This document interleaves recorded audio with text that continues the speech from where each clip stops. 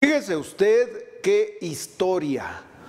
Una persona, y para acabarla de fregar, maestro, choca y huye del lugar para no hacerse responsable y en su huida y en su loca carrera pierde el control del vehículo y termina matando a una persona. Esto ocurrió en Morelia. Liliana, adelante.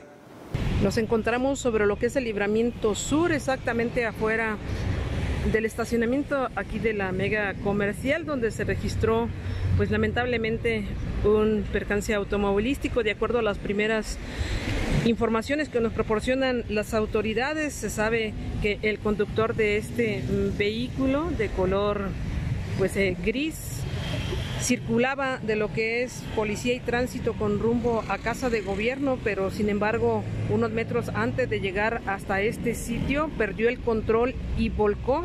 Lamentablemente, entre lo que es la volcadura, pues se llevó a una mujer que se encontraba precisamente esperando el transporte público aquí en esta zona y obviamente pues la mujer falleció de forma instantánea. De acuerdo al reporte sabemos que el cuerpo de esta mujer aún no identificada se encuentra debajo de este vehículo.